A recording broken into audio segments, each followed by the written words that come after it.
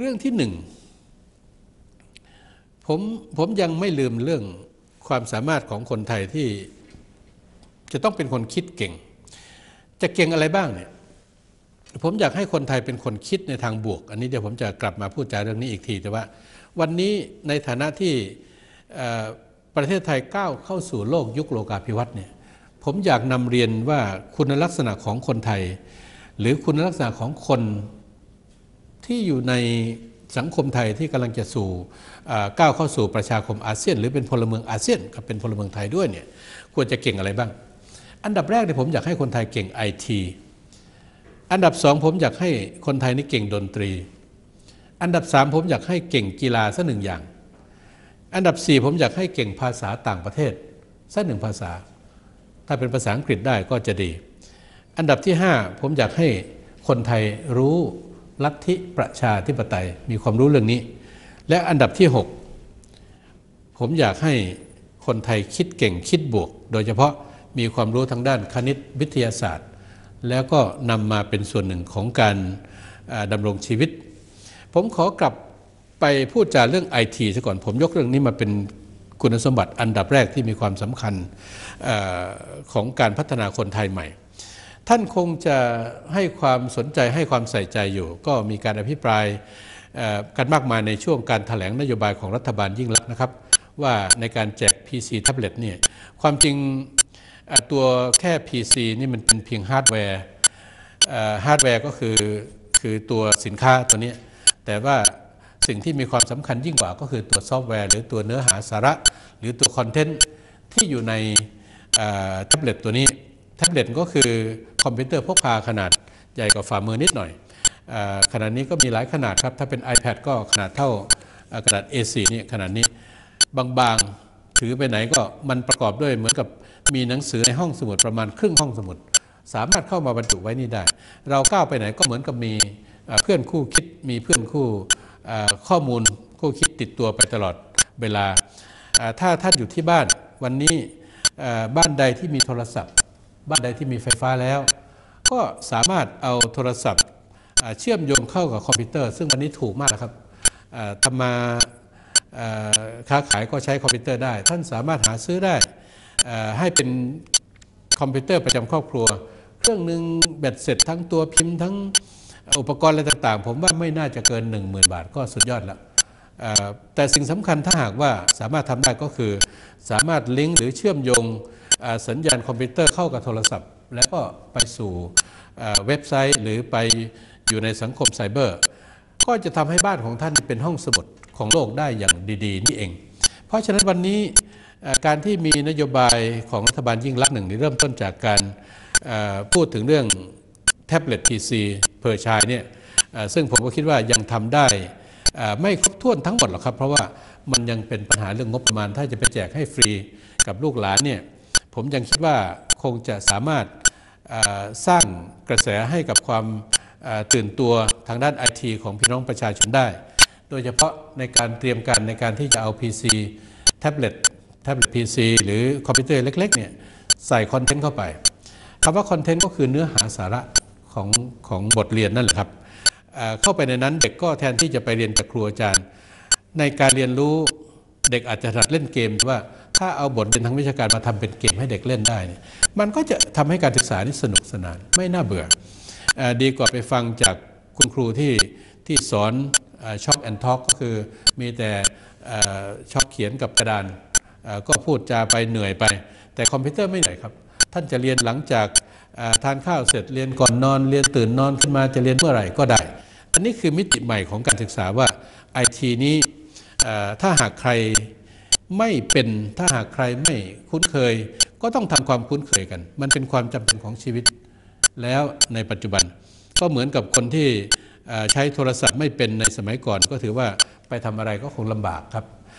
ขณะนี้คนที่ใช้คอมพิวเตอร์ไม่เป็น โดยเฉพาะในอีก 4-5 ปีที่จะถึงเนี่ยถ้าท่านใช้คอมพิวเตอร์ไม่เป็นนี่ก็ถือว่าท่านตกยุคตกรุ่น ตกจากพลเมืองของโลก ตกจากความเป็นพลเมืองของอาเซียน ถามว่าตายไหมครับ ไม่ตายไม่ตาย แต่ว่าเพียงแต่ว่าคุณภาพชีวิตหรือการติดต่อสื่อสารกับโลกภายนอกเนี่ยท่านก็จะด้อยกว่าคนอื่นเขา เพราะฉะนั้นเด็กไทยยุคใหม่เนี่ยผมจึงคิดว่า ผมจึงตั้งเป้าไว้แล้วจะต้องเก่งไอทีวันนี้เมื่อวันนี้เนี่ยไทยเรายังไม่ค่อยพร้อมเท่าไหร่ความจริงเมื่อประมาณทักสิปีมาแล้ว ผมนำเสนอให้กระทรวงศึกษาธิการนี่ได้มีการจัดซื้อจัดหา เทคโนโลยีคอมพิวเตอร์หรือไอทีนี่แหละมาให้กับนักเรียนระดับประถมมัธยมของไทย ตอนนั้นจำได้ว่าเป็นช่วงของรัฐมนตรีชื่อออสุขวิทย์รังสิตพล เป็นรัฐบาลของพรรคความหวังใหม่บังเอิญตอนนั้นผมก็ได้มีโอกาสเข้าไปเป็นที่ปรึกษาดูแลอยู่ผมก็ไปดูงานเรื่องนี้มาปรากฏว่าอเมริกาเขาก็ใช้เรื่องนี้เป็นเรื่องหลัก ญี่ปุ่นเกาหลีเขาใช้กันมาพอสมควรแล้วจนถึงขั้นวันนี้ มีมหาวิทยาลัยที่เรียนปริญญาตรีโทเอก กันโดยไม่ต้องไปที่โรงเรียน แต่สามารถเรียนผ่านทางคอมพิวเตอร์ที่บ้านได้ ผมจึงคิดว่าวันนี้อยากจะแนะนำพี่น้องประชาชนว่ายังไงถ้าท่านให้ความสนใจให้ความตื่นตัว ก็กรุณาช่วยจัดหาชุดคอมพิวเตอร์นะครับถ้าไม่ถึงขั้นว่าแท็บเล็ตซึ่งวันนี้ยังแพงอยู่ ไม่ต้องถึงขั้น iPad ซึ่งยังแพงอยู่ จัดหาเครื่อง สัญญาณโทรศัพท์ให้ถึงบ้าน พร้อมกับติดตั้งเครือข่ายอินเทอร์เน็ตไว้ในนั้น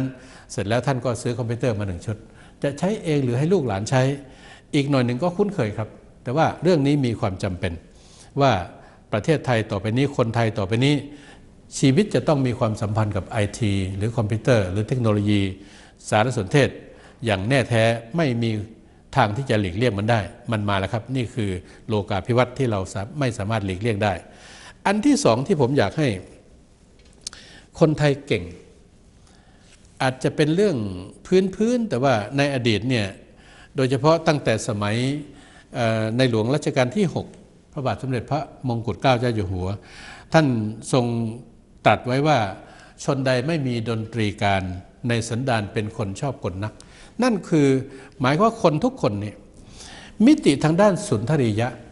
มิติในด้านความ ความมีอารมณ์สุนทรีคือความสุขของคนเนี่ยท่านที่เคารพครับ ความสุขของมนุษย์เนี่ยถ้าพูดถึงเรื่องการศึกษานี่มันแยกเป็นสองส่วนนะครับ ส่วนที่หนึ่งคือเรื่องความสามารถของสมองในการคิด ในการคิดในการทำในการทำนั่นทำนี่เป็นทักษะ แต่ว่าสิ่งที่เป็นความสุขที่เราเรียกว่าเป็นอารมณ์ของมนุษย์ที่ที่เขาเรียกว่า EQ หรือ emotional quotient เนี่ยมันเป็นส่วนที่เป็นส่วนที่เป็นความสุขของคน เอาอย่างนั้นก็แล้วกัน คือคนเนี่ยสังเกตไหมครับ ถ้าท่านหน้าตายิ้มแย้มแจ่มใสวันไหน ร้องเพลงผิวปากหรืออะไรต่างๆเนี่ยมันทำให้อารมณ์เนี่ยสดชื่น ร่างกายก็กระปรี้กระเป๋าขึ้นมา นั่นคือสิ่งที่อยากให้มันเกิดขึ้นกับคนไทยทุกคนนั่นก็คืออารมณ์ที่เป็นสุข เพราะฉะนั้นพระบาทสมเด็จพระปกเกล้าเจ้าอยู่หัวท่านท่านพูดถึงเรื่องชนใดไม่มีดนตรีการในสันดานเป็นคนชอบกลนัก นั่นแปลว่า ท่านก็อยากให้คนเป็นคนร่าเริงเป็นคนมีความสุข เพราะฉะนั้นผมสังเกตจากการศึกษาของญี่ปุ่นในระดับประถมศึกษานี่ผมไปดูมาปรากฏว่าอย่างนี้ครับ ครูหรืออาจารย์ที่จะมาสอนในระดับประถมศึกษาเนี่ยขออภัยต้องเก่งดนตรีด้วย ต้องเก่งการทำอาหาร เพราะว่าญี่ปุ่นเขามีนโยบายที่จะให้เด็กตัวสูงตัวโตเพราะนั้นเด็กมาทานอาหารโรงเรียนกลางวันนี่ครูจะต้องเก่งเรื่องว่าอาหารใดให้แคลอรี่เท่าไหร่ แต่ในส่วนที่เกี่ยวข้องเรื่องดนตรีเนี่ยครูญี่ปุ่นจะสามารถเล่นเปียโนได้เกือบทุกคน หรืออิเล็กโทรน เพราะฉะนั้นผมบอกว่าคนไทยในอนาคตนี่หนึ่งเก่งไอทีสองเก่งหนึ่งดนตรีเป็นอย่างน้อย ไม่ว่าจะเป็นซออู้ซอด้วง หรืออการขับร้องหรือการร้องเพลงก็ถือว่าเป็นดนตรีในนั้นนับได้กันแล้วกันครับว่า ถ้าท่านไม่มีอุปกรณ์ไม่มีกีตาร์ไม่มีแคนไม่มีกลอง ก็ถือว่าอุปกรณ์เหล่านั้นมันเป็นส่วนหนึ่งของดนตรี หรือถ้าไม่มีเครื่องที่เป็นดนตรีจริงๆนี่ก็ไม่ต้องไปหยิบไหหยิบหม้อมาเคาะมาตีนะครับเดี๋ยวมันบุบมันพังไป ก็ เรียนรู้ในการที่จะร้องเพลง หาเพลงประจำตัวไว้ เวลาไปไหนนี่ไม่ว่าจะเป็นผู้หลักผู้ใหญ่บางคนนี่ร้องเพลงไม่เป็น พอถึงไปเข้าการเข้างาน เดี๋ยวนี้มันมีเทคโนโลยีเกี่ยวข้องกับเรื่องคาราโอเกะท่านที่ไปร่วมเสวนาสังสรรค์กับเพื่อน บางคนเขาชวนเชิญไปร้องเพลงก็หดอยู่ยังกับเต่ายังกับหัวเต่าหางเต่าก็ไม่กล้า ผมว่าต่อไปนี้เนี่ย คนไทยยุคใหม่จะต้องมีส่วนร่วมในการสร้างความสนุกสนานให้กับตนเอง หาความสุขให้กับตนเอง หาวิธีการในการสร้างอารมณ์ที่ดีที่งามให้กับตนเอง คือมีดนตรีในหัวใจนั่นเอง ถ้าเด็กไทยต่อไปนี้สามารถเล่นดนตรีได้หนึ่งอย่าง ไม่ว่าจะเป็นอะไรครับเลือกมาเถอะ ก็จะสามารถครบถ้วนละเรื่องที่สามที่ผมอยากให้คนไทยก็คือเรื่องหนึ่งคนนี่ให้เล่นกีฬาหนึ่งอย่าง กีฬานั้นไม่ว่าจะเป็นแอโรบิก ไม่ว่าจะเป็นการกระโดดเชือก ไม่ว่าจะเป็นการวิ่ง ไม่ว่าจะเป็นการเล่นฟุตบอล ไม่ว่าจะเป็นการเล่นบาสเกตบอลวอลเลย์บอลหรือหรือเปตองหรืออะไรต่างก็ได้ ขอให้หนึ่งมีกีฬาของตัวเองที่ตัวเองชอบตัวเองโปรดหนึ่งอย่าง เอาไว้เป็นคุณสมบัติว่าเก่งไอทีหนึ่งดนตรีหนึ่งกีฬาหนึ่งภาษาต่างประเทศนี่ก็ถือว่าใช้ได้ ผมคิดว่ากีฬานี่นอกจากหนึ่งมันนำมาซึ่งการมีอารมณ์ดีการมีร่างกายที่สมบูรณ์แล้วเนี่ย มันเป็นเรื่องของสุขภาพ จิตใจที่ดีย่อมอยู่ในร่างกายที่แข็งแรง ร่างกายที่แข็งแรงย่อมอยู่ในจิตใจที่ผ่องใส เพราะฉะนั้นปรัชญาการศึกษาในอดีตของเรายังใช้ได้ครับ ไม่ว่าจะมาสู่โลกยุคโลกาภิวัตน์หรือไม่เพียงใด ผมก็เรียนว่า การสอนให้เด็กเก่งหนึ่งดนตรีหนึ่งกีฬา แล้วก็หนึ่งภาษาต่างประเทศเนี่ยมันเป็นเรื่องสามารถทำได้ไม่ยากหรอกครับทำไมผมถึงพูดว่าหนึ่งต้องเก่งเรื่องภาษาต่างประเทศหนึ่งอย่าง ก็เพราะว่าเรากำลังก้าวสู่ประชาคมอาเซียน ถ้าหากว่าคนไทยได้ภาษาอังกฤษสักหนึ่งอย่างขณะนี้มีการส่งเสริมกันในเรื่องโครงการ EP หรือ English Program ในโรงเรียนต่างๆ ผมอยากให้มีโรงเรียน EP ในทุกโรงเรียนในทุกตำบล ถ้าหากเป็นโรงเรียนมัธยมที่มีครูอาจารย์สอนภาษาต่างประเทศอยู่ได้ กรุณาส่งเสริมเรื่องนี้ แต่ถ้าหากเป็นไปได้ โรงเรียนที่อยู่ใกล้กัมพูชา สามารถที่จะตั้งสาขาที่เกี่ยวข้องกับการศึกษากัมพูชา เป็นภาษากัมพูชาก็ได้ครับ ไม่เป็นไรครับ ในจังหวัดสงขลาอาจจะมีโรงเรียนที่สอนทางด้าน ใช้ภาษามาเลเซีย ซึ่งเป็นอันเดียวที่คล้ายคลึงกับภาษาอินโดนีเซียก็ได้ นอกจากนั้นสิ่งที่ผมอยากได้ก็คือว่า การศึกษาใหม่ของคนไทยนอกจากจะให้เด็กไทยเก่งคณิตศาสตร์วิทยาศาสตร์แล้ว อยากจะให้มีการเรียนการสอนในลัทธิประชาธิปไตยว่านี่เราอยากเป็นสังคมคอมมิวนิสต์เราไม่รู้คอมมิวนิสต์มันคืออะไรก็เป็นไม่ได้ เราอยากเป็นประชาธิปไตย ถ้าเราไม่รู้ว่าประชาธิปไตยเป็นอย่างไร เราก็คงจะเป็นได้ลำบากเช่นเดียวกัน เพราะฉะนั้นผมจึงอยากให้ครูไทยประเทศไทยมีการพัฒนาลัทธิประชาธิปไตยร่วมกัน ไม่ว่าจะเป็นโครงสร้างอำนาจการปกครองของประชาชนเรื่องสิทธิ เรื่องเสรีภาพ เรื่องกฎหมายเรื่องความนิติธรรม และก็ผู้นำจากการเลือกตั้ง อันนี้คือสาระของประชาธิปไตยที่อยากให้มีการเรียนรู้กันอย่างจริงจังในประเทศไทย วันนี้หมดเวลาพอดีต้องขอบคุณท่านผู้ชมที่ติดตามรายการมองไทยมองเทศ ทุกคืนวันเสาร์คืนวันอาทิตย์ทาง MV บางกอกทูเดย์แห่งนี้ วันนี้หมดเวลาพอดีครับพบกันใหม่ในสัปดาห์หน้า สวัสดีครับสลิมเฮอร์บ l ลแคปซูลหรือสมุนไพรลดไขมันหน้าท้องสำหรับหญิงชาย ทานประจำไม่เป็นอันตรายไม่ระบายพร่ำเพรื่อไม่มีผลข้างเคียงไม่มวนท้องทำให้เอวท่านเล็กลงทั้งหญิงและชาย ขับถ่ายเมือกไขมันในลำไส้ลดไขมันคอเลสเตอรอลในเลือด 7 วันแล้วท่านออกกำลังกายควบคุมอาหาร ราคารวมค่าส่ง 1,500 บาท 083 705 1234 แล้วก็ 083 706 1234